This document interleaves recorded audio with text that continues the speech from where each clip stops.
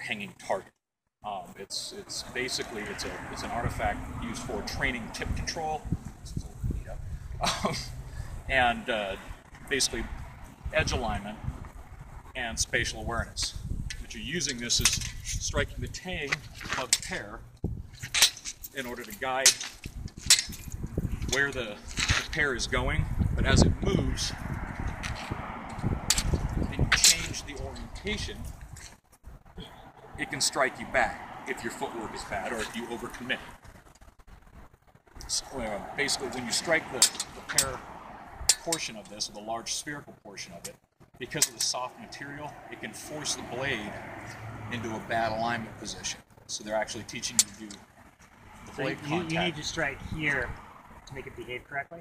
Yeah, basically on the hard tang, in a sense, in order to, to practice a lot of it. I mean, because you can use these to actually practice winding, or practice things like Zwerchhau, numerous other techniques. But um, the ring on the bottom is for practicing tip control. So as you are, as the target is moving, the objective, basically, as you are striking, is to spear the Wow. ring and keep it Wow. stationary. Stop. But you can also use the tang for the same purpose, basically, in a, as a stationary target moving from different Can you do a couple rounds with it? Hmm? Can you do a couple rounds with it? Give it a uh, shot. It's yeah, been a while. that's okay. So- Uh, it's better than the no video out there that Yeah. we've seen. but uh,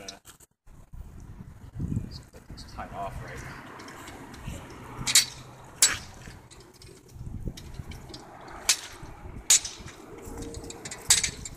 But, um, yeah, this is good. That's okay. So, so if I screw up, it's going to come back at me. Oh yeah.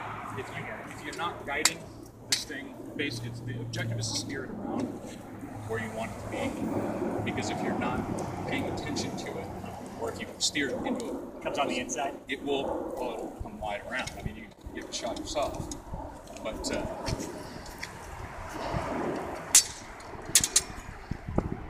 once you start moving, it will.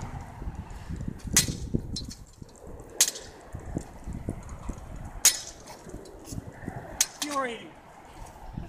Wow. And then you got to keep moving your feet, or you end up just kind of. As you keep, yeah, the objective is basically keep moving in a, in a or around with it itself. Wow.